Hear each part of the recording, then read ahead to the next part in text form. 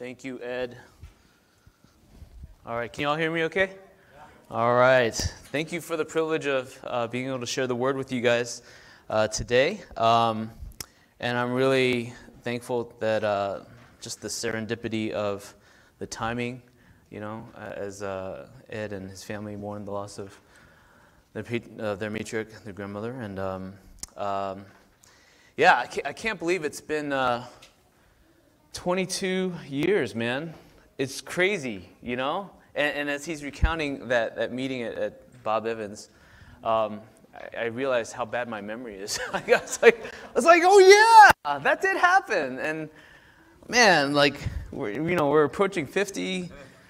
It's crazy, 20 years. Can't believe how old we're getting. But, uh, but God is good and He's faithful, and uh, thankful that our friendship has lasted all throughout these years. And even though uh, spent some time away uh, in Korea, um, back here in the States now, it's good to be back. Um, but yeah, trying to get used to America again. You know, a lot has changed in the past uh, past eight years, and um, but it's it's good. You know, it's good to be back. Um, so Ed asked me to share um, on something that I've been working on for my graduate studies, um, which centers on law and grace. Okay, law and grace. So after some prayer and thinking, I thought it would be good to hear one of Jesus' parables. where he teaches us about uh, generosity, okay? Grace in terms of generosity. Now, this sermon, um, it might actually make you mad because Jesus has a way of doing that. Um, so, uh, you know, you're meeting me for the first time, and so I, I, I, I hope I don't make you mad, but it could happen. Um, so, so to start, let me throw out a, a rhetorical question, okay? So, what is the origin of fairness. Fairness, right? Um, where does fairness come from? Where does our desire for fairness come from? Um, it exists in everyone, right? And, and, you know, anybody who's had children, you see it from the very early age, toddler stage. Um, I've read some, some papers where they say it at 15 months, they're doing research and, and testing these little kids about fairness, right? So it's like it's there from the very earliest stages. Um, did a little bit more digging and research, and people in the scientific world and psychological world, they don't really have much to say about the actual origin of it. You know, the most that they can come up with is that, you know, there are evolutionary causes um, behind and how our species had to develop social compatibility and stuff like that. Eh, you know, okay, so maybe some of that is might be partially true, but really, if you go under that, what's the origin of that, right? You know. So upon reflection, and you, you think about it, you think about it biblically, you think about it theologically. Fairness comes from our being created in the image of God. That's where it comes from. Our being created in the image of God. Biblically, the word for fairness is justice. Okay, justice. Um, but justice is actually bigger. Justice is more macro level. Fairness falls under justice, um, but it's there, uh, it, built into we were created in the image of God. It's kind of like love, right? Uh, where does love come from? You know, there, there's no like evolutionary way to, to you know, explain that. It's one of our base elemental attributes to our humanity. Okay. Um, so there are three modes in which we think about fairness in terms of consequence for our moral actions. Okay, three, three modes um, that we think about fairness in terms of the consequences for our moral actions. So, first, there's fairness with regard to when you've done something wrong. Okay? So, when you've done something wrong, what is fair? Punishment. Okay? Um, but when you don't receive that punishment, the opposite of that fairness we call mercy. Right? Um, but then, secondly, uh, there's a fairness with regard to when you have done good, when you've done right. And that fairness we call reward. Okay, you get, you get a reward for that. Um, and then if you don't get a reward for that good and for that uh, rightness that you, you uh, did, we say that's just injustice. You know, we, we feel that. And there's a, there's a neutral kind of fairness uh, where you just simply get what you deserve. Okay? Um, and a break in that natural order where you receive good that you don't deserve. We call that grace. Okay, when I receive good that I don't deserve. And that's a little bit different from mercy. Um, mercy is where you don't receive punishment for the bad that you deserve. Okay? And so, like, the emotional reaction is, whew, that's a relief, right? Um, but grace is receiving the good that you don't deserve. And so the emotional reaction is, what a surprise, right? Okay, so it's, it's similar but a little bit different. So let me read to you our passage for today, Matthew chapter 20, verses 1 through 16. Okay? Um, starts like this For the kingdom of heaven, Jesus is speaking. For the kingdom of heaven is like a landowner who went out early in the morning, let's say 6 a.m., okay? He goes out 6 a.m. to hire workers for his vineyard. And he agreed, agreed to pay those workers a denarius for the day and sent them into his vineyard. About the third hour, 9 a.m., he went out and saw others standing in the marketplace doing nothing. And he told them, You also go and work in my vineyard, and I will pay you whatever is right. So they went. And he went out again about the sixth hour, which is 12 o'clock, noon, and then the ninth hour at 3 p.m., and he did the thing. And at about the 11th hour, which is 5 p.m., he went out and found still others standing around. And he asked them, Why have you been standing here all day doing nothing? Because no one has hired us, they answered. And he said to them, You also go and work in my vineyard. When evening came, which is 6 p.m., the owner of the vineyard said to his foreman, Call the workers and pay them their wages, beginning with the last ones who were hired and going on to the first. The workers who were hired about the 11th hour, which is one hour, they came and each received a denarius.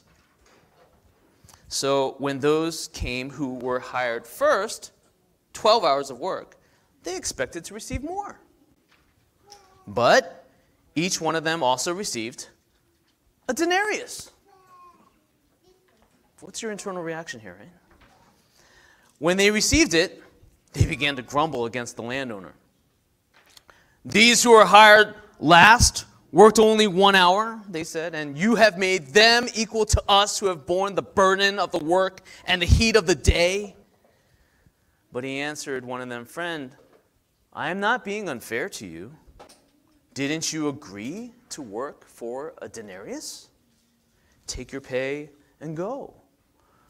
I want to give the one who was hired last the same as I gave you. Don't I have the right to do what I want with my own money? Or are you envious because I am generous? so the last will be first, and the first will be last. Amen. Hard to say amen to that, isn't it? So, just to recap this story a little bit, the owner of a vineyard goes out five times in the story throughout the day to hire workers. To the first group, 6 a.m., he offers to pay, let's say, $100.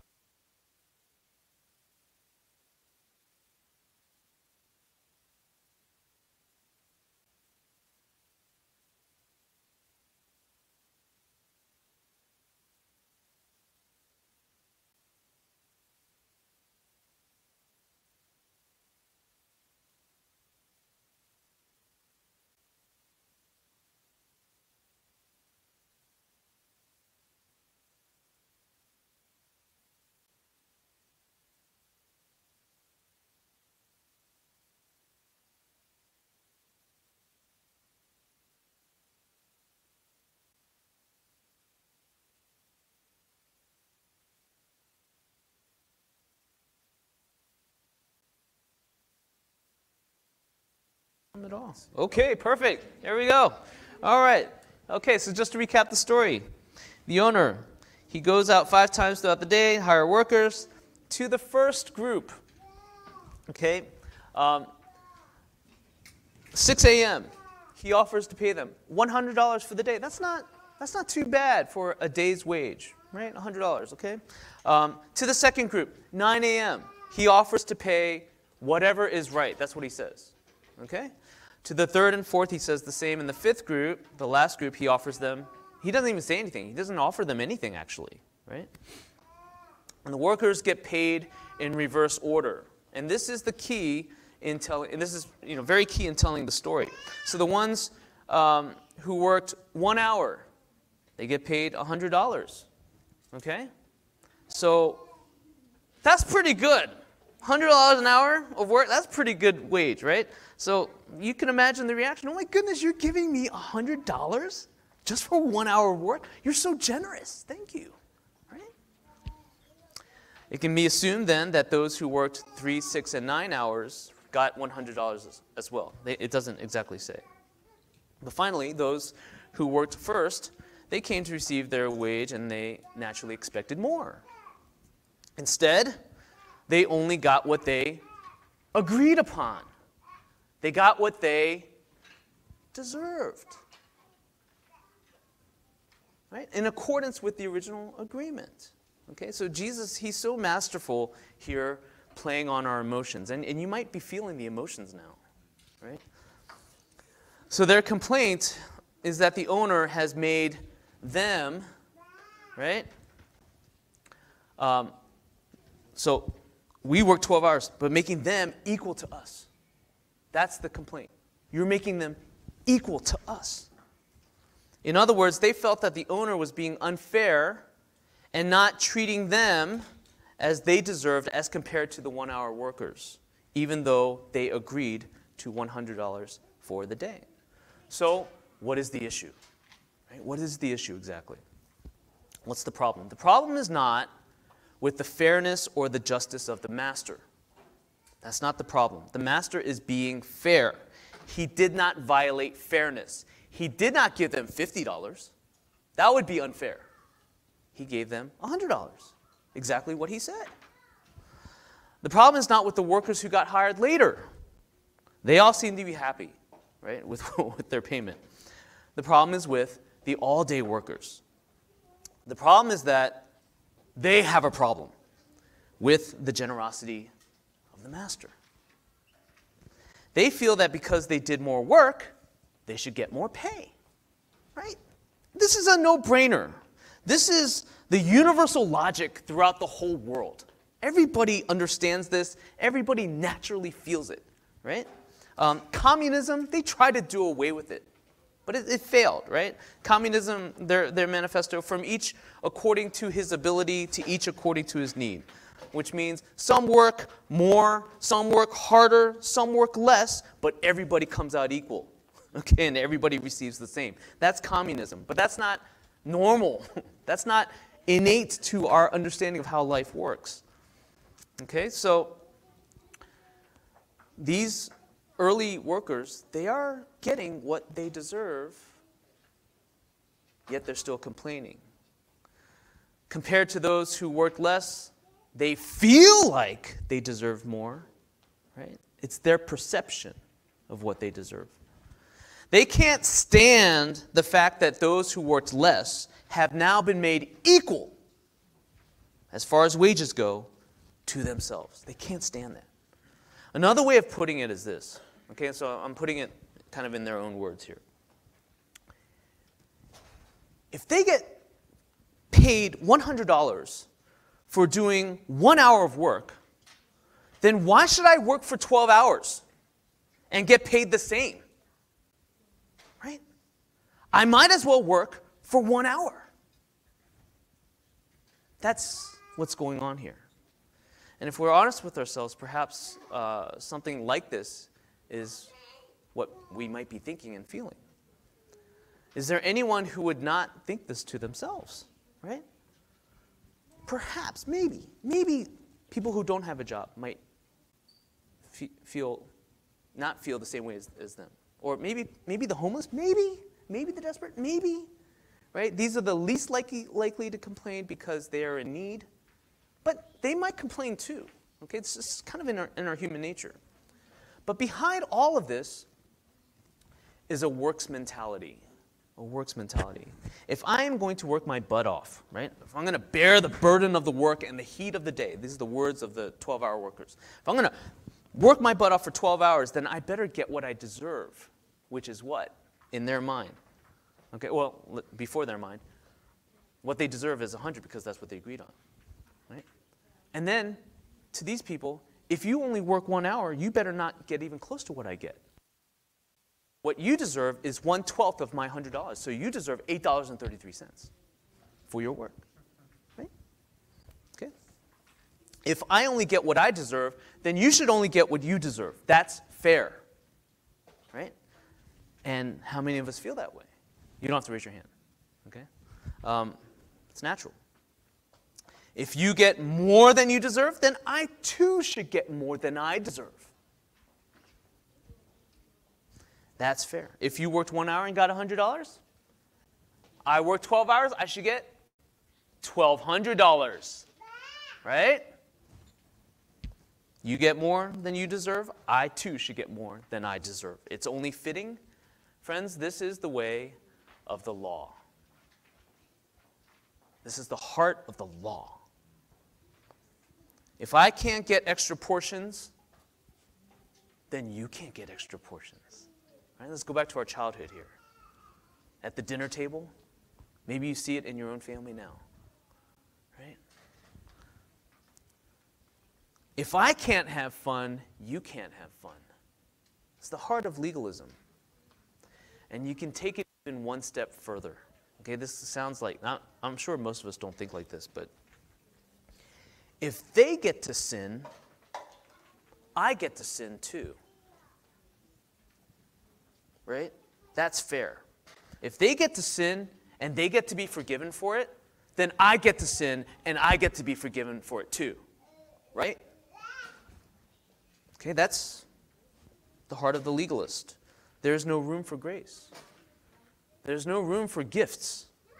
You can only get more than me if you worked harder than me tit for tat, right? So the point of the story is not that one hour's work is worth the same as 12. That is not the point of the story, okay? Jesus is not trying to make an economical statement here, okay? Um, nor is the point that everybody gets the same reward. That is not it either. Rather, the point is that God is generous. God is generous and he is gracious to those who don't deserve it. And so the question is this is the underlying question of the parable is can you handle that? Can you handle that? Can you handle that God is generous? Right? So go back to the sibling context. So this is often uh, difficult for older siblings, not, not always, but sometimes. Can you handle the fact that your younger brother or sister seems to receive as much reward as many gifts, as much praise and allowance as you do, particularly when they do less than you do. Can you handle that? Ah! Right? They are less responsible than you. They don't measure up as much as you do, but they get as much as you do from your parents. Can you handle that? That's hard. It's not fair, right? Does it eat does it eat you up inside that your parents are generous to your younger sibling? Put it in the context of the church. Okay, so I don't, I don't this is not a statement about Restoration Church, but I've seen this in many churches. Okay, um, perhaps you are a good and moral person. Okay, you are always abiding by the rules and you're trying to please God with the actions of your life. Can you handle it when good things happen to people who clearly are not as good as you are? When their life gets blessed, when God uses them to bless other people, even other people in the church, and you're thinking to yourself, why does everybody like him or her? Why? Right? How come nobody recognizes what I do? And then God will sometimes use these quote unquote less deserving people to actually lead others in the church, to be a leader, right? To be a deacon or what, you know. And so naturally, it's like, what about me? I've been serving so long, I've been attending so faithfully, where's my promotion? Okay? So we do this in church, we do this in life, don't we?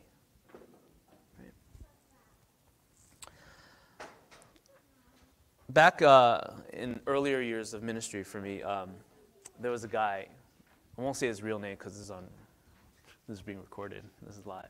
I'll call him Morris. His name is nothing like Morris at all. Um, I barely know a single Morris. But um, so me and Morris, we were partners in ministry, um, and he was always late. He was always late, and I was always on time. Okay? And I thought to myself, because I'm on time, I'm showing that I'm committed, and I deserve respect for that. However, because Morris was always late, I thought it showed that he was uncommitted and that he was not as credible as a pastor because of that. And yet, everybody loved him. I think they adored this guy, right? So I couldn't stand the fact that everybody loved him and respected him for his preaching, his teaching, his pastoring. And it's not that people didn't respect me, right? I had respect too, but I wanted them to respect and love me more. Right? Because I did a better job at being on time and showing that I was more committed, quote unquote, right? When it comes to receiving our reward, our, our blessings, and our gifts, it is not about justice and fairness. It's not. As if we earned it, right? It is about grace. It is about getting what we don't deserve. And Jesus says, this is what the kingdom of God is like getting what you don't deserve. If you expect and if you demand reward from God for the things that you have done, then you'll get exactly what you deserve, right? Because you're operating then on a contractual basis. It's a contract with God. I do this much for you, God, you pay me this. Right? But then you have to understand if you're going to work like this, you have to go by those rules, right, of the contract paradigm. And you have to accept the negative side as well. And the negative side is if I do this much against you, right, then you pay me back in punishment as well. Do you really want that? Do you really want that? You know? Do you want to live by the rules of this paradigm, particularly with God? Because at this point, you not only disqualify yourself from grace, you disqualify yourself from mercy as well. you don't want to go there, right? It's not a very good system, but it is fair. It's fair. That's the law. However, if you don't expect, if you don't demand much at all from God for the things that you've done, you'll end up getting much more than you think you deserve. Then at this point, it is no longer a contractual kind of agreement. Rather, it's on the basis of grace and generosity. And this is what God extends to us. This is what He offers to us. And can you accept that? Right? Not only for yourself, but for others as well. It's a recognition wherein we say to God, Lord, I know I don't deserve much from you. I'm just glad to be a part of your family. Even more so, I want to grow in this understanding that I am always with you and that everything you have is mine. Have you guys heard that before? It comes from the story of the prodigal son, right? Where the father says to the older son, and the older son's been complaining about his younger brother who squandered all the money and all the wealth. The father says to the older son, You are always with me, and everything I have is yours. That's just a wonderful statement, right? That talks about and reflects the generosity of our God. God's great gifts are distributed not because they are earned, but because He is generous. You don't get reward from God because you deserved it. You get reward from God because He's kind. Right? God works off of a completely different paradigm, a different set of quote unquote rules, if you will. And so if you find yourself asking the question, well, then why should I waste my time working for 12 hours? Why not just work one hour? Right? If you find yourself asking that question, it is very much like the other question I asked earlier. If they get to sin and be forgiven, why don't I get to sin and be forgiven? It, it's, it's, it's the same, essentially. And if that's what we're asking, then we've completely missed the point. Right? This is not a parable about whether or not I should work. It's not a parable of how much I should work. This is a parable about God inviting us to a purposeful, meaningful life in serving Him and His kingdom. And then, on top of that, receiving a gracious reward on the basis of His goodness and not on the basis of our hard work. Friends, it, it takes a lot of time to adjust to this. It takes a lot of time to adjust to this mentality because our world is all about fairness. You know, all the way from infant stage. It's all about fairness, our sense of justice. It's our sense of justice. It's not necessarily biblical justice, it's our sense of what is right and wrong. And because we are immersed in this world of fairness, it is hard to adjust to the world of grace. Right? Because no one could have told this story. Nobody. Only Jesus could have told this story because he's on a totally different wavelength. Right? It's hard to adjust to the world of grace. We're glad to receive grace, but it's hard to live it, and it's hard to show it to others. It takes a lot of adjustment. Now, it's interesting that this parable is preceded by the famous story of the rich young man meeting Jesus in chapter 19, verses 16 to 30. So, brief recap of this story. The rich young man, he asked Jesus what he needs to get, what he needs to do to get eternal life. And Jesus tells him, well, you need to obey the commandments, right? And so he says, oh, I've done all that, right? What do I still lack? Jesus tells him, Go and sell your possessions and give it to the poor. What? It's like, what? you know? And so he walks away sad because he had great wealth. Meaning, he didn't want to give away any of his possessions. From his perspective, they were his possessions, they were his own right? That he earned. Thus, Jesus says it's easier for a camel to go through the eye of a needle than for a rich person to enter the kingdom of God. What, ba- what Jesus is saying basically is that it's impossible. and so the disciples ask, well, then who can be saved? And Jesus says, with man, with human, humanity, this is impossible, but with God, all things are possible, meaning he can save, right? God is the one who can lead people to a transformed heart if they're willing. God can do that. But why wasn't this rich young man's heart transformed? Why wasn't he willing? Okay? And here's the connection.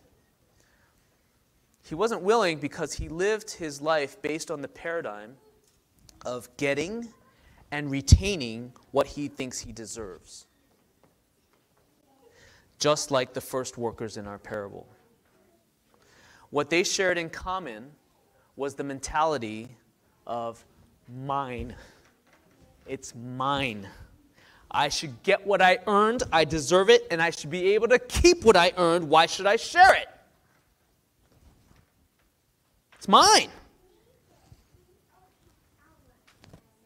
They don't have a generous spirit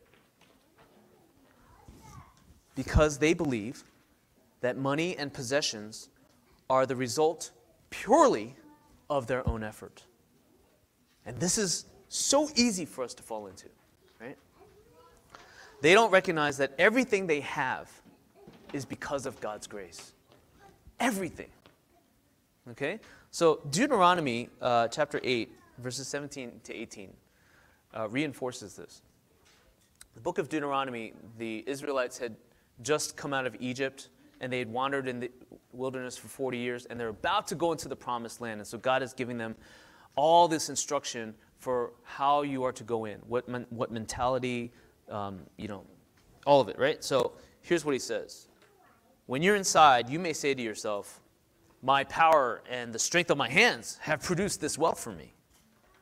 But remember the Lord your God, for it is He who gives you the ability to produce wealth, and so confirms His covenant which He swore to your ancestors as it is today. God gives us that ability. It's not, it's not us. And so, this is what kills generosity the mentality of mine, mine, mine, mine, which is rooted in getting what I think I deserve. And this comes from the underlying false belief that this world is all there is. If you think this world is all there is, then you better get yours because there's nothing else coming. Right? But that's a false belief. We don't believe that, right? As believers, as Christians, right? But that belief is what we call practical atheism. Practical atheism. It's atheism in practice, right? So as believers, we can actually fall into this, right? We know God exists. We come to Sunday, we worship Him. We, it's true, we believe it, but we don't always live like He's the master of the universe. we don't, we don't live like that. I, I gotta, I gotta scrounge. I gotta keep what's mine.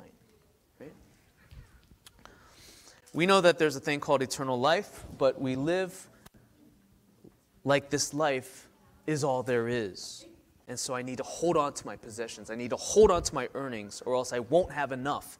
And if this is how we think, then there's no room to be gracious. There's no room to be generous because I can only think of myself. So let me just juxtapose this Jesus encounter with another Jesus encounter. So, Zacchaeus, you guys know this story, right? Zacchaeus in uh, Luke chapter 19, verses 1 to 10. I'll just briefly go over this. He was also very rich, uh, but as a tax collector, he made his money off uh, off of robbing his own fellow Israelites by charging them more than they needed to pay for Roman taxes and then pocketing the extra for himself. That's how he made his money. And so Jesus walks into his town and he notices that Zacchaeus is hiding in a tree. And, and Zacchaeus wants to see Jesus, but he doesn't want other people to notice him. And so Jesus calls him out and then Jesus invites himself over to his house. Okay? Um, which was a huge privilege and a huge honor for Zacchaeus since Jesus was very popular, not to mention he was the Messiah, like the Son of God, right? Um, so this is an act of grace. It's an act of grace, giving Zacchaeus what he doesn't deserve, which is what? What does Zacchaeus not deserve that he's receiving here? Friendship. Friendship and acceptance with God. Right? Zacchaeus did not see this as something he deserved or something that he was entitled to because he had money. He knew that everybody hated him, and yet Jesus loved him. It's crazy, right? And so, in response to this amazing grace, in verse 8, Zacchaeus stood up and said to, to, to the Lord, Look, Lord, here and now I give half of my possessions to the poor. And if, if I've cheated anybody out of anything, I will pay back four times the amount. Whoa, that's crazy, right? What transformed Zacchaeus' heart and made him so generous? Right? The answer is grace. Grace is what changes us. Greatly has he been forgiven, greatly does he give. In comparison to the first workers of our story, right, of this parable, who could only think of what they're entitled to. Zacchaeus was transformed into the same generosity as the owner of the vineyard, who paid workers more than they deserved. In comparison to the rich young man who would not give any of his possessions, even though Jesus invited him to, Zacchaeus gave half of his possessions and paid back all those he cheated four times the amount. So much, right? Money, possessions, entitlement, and earnings no longer had a hold on Zacchaeus. Jesus did. And that was enough for him when we truly receive and live in the grace of God, then with joy, we give generously. We give of our tithes and our offerings, our time and our energy. It just generously flows because we have received such grace from our God, and because we know that this gracious God is limitless in his resources for his children. He's limitless in his resources for his children. Friends, the kingdom of God is not about what you deserve because of your good works or what others don't deserve because they do good enough. The kingdom of God is an invitation to life, it is an invitation to grace. And when we really understand this and embrace this, then not only will we be happier and more content, we will also become gracious people, like the generous landowner, like Zacchaeus. If we don't understand and embrace this grace, then life will only be fair. Life will only be fair. Life with God will be a contract. No surprises, no gifts, only what you deserve. do, you, do you want that? Anybody want that? No, right? It's one or the other. It is the world of fairness, which is law, or the world of grace. It's one or the other. Right? Paul says this in Romans 6:14. You are no longer under law, but under grace. And so which one do we want? In my opinion, this kind of fairness, this kind of law life, right? It's not life. It's labor. It's contract. Unfortunately, many people think this is what Christianity is. It's unfortunate. Um, but they think this both inside the church and outside the church. And this is in part why people outside the church reject God and reject the church. They already experience contract in the world. So why should they come to church and experience the same thing? Right? And this is all because they have a wrong view of God, both inside and outside the church. And this is why many in the church are not being transformed because we think it's a contract. Even if we don't conceptually think like it's a contract, we often live like it's a contract, right? If we're honest with ourselves, we live like it's a contract. I do this for you, God, and you do this for me. And if that's how we're living, deep down, that's what we believe. And if that's the way it is for us, then we're not going to see transformation. Because then all of this is just behavior modification. That's all it is. Modify your behavior, right? And try to look like a Christian. like, is that what we believe? Not at all, right? Who wants that? There's no life in that. So, friends, receive the grace of God. Receive it. It is a learning curve. And if you feel like you don't fully get it, if you, don't feel, if you feel like you don't fully understand it, pray for it. Enter into that world of grace. Okay? And mull over and kind of chew on this passage. Lord, why are you so generous? Like, chew on that. And then, why do I not want to be? and chew on that. Okay? And then, for some of us who are generous, because I'm, i know that there are people who are, who are generous, if you find yourself judging people who aren't generous, why do you judge? Right? That's not very generous. So it's all these layers, right? Oh, we got to wrestle with it. The Lord, in His mercy and His grace, He extends His generosity to all, to everyone. How does He extend His generosity? You know this by giving everything He has His life for us. The Father gives His Son the Son gives his life on the cross to take on the death that we deserve. What is that? It's mercy. It's the relief. You took on my death. Thank you. My punishment. Thank you. That's relief, mercy. In order to receive his life, right? There's an exchange that goes on.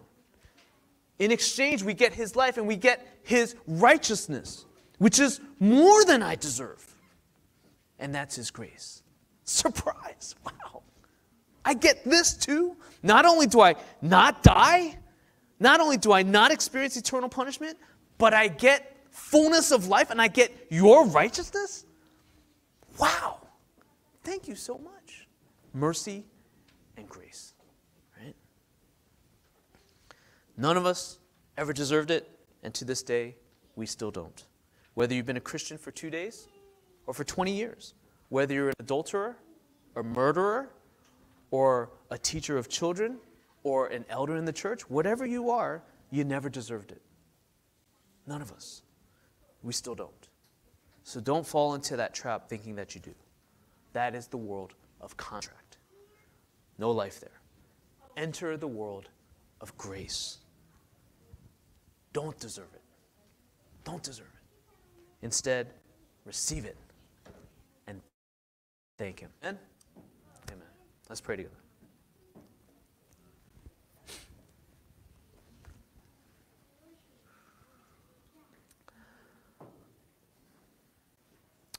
So, probably uh, throughout the message,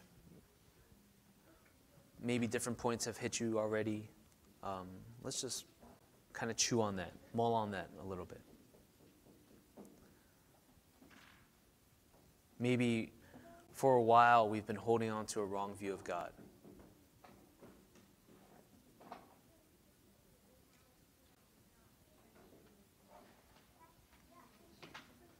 And and it's not necessarily because of, of our church upbringing, but it's just the way of the world. It's so deeply ingrained in us that we have known no other way. Maybe we have understood that, oh, yeah, I've been saved by grace. I, I, I received my salvation. I, I, was converted and I was, uh, yeah, I, I experienced that grace of God initially but after that, maybe we return to the world of law.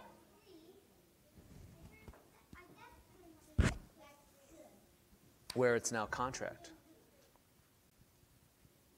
And so, Lord, how do we, how do I, how do I continue in your grace? How do I, how do I become more like you in your generosity? You think in a totally different way than I'm used to, Lord. Help me to think the way you do. Reshape my values, God.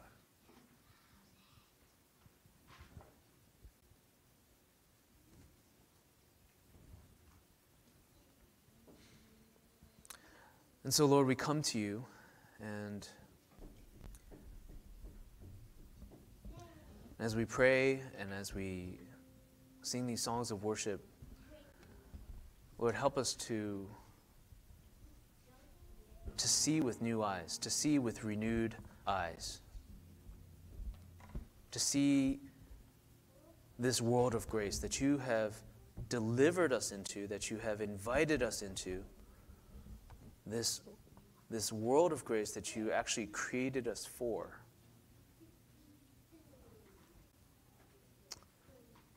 May we revel in your generosity and your kindness extended to us, God. And as we, as we swim in that, in your grace, may we be transformed to become gracious and generous like you. In Jesus' name, amen.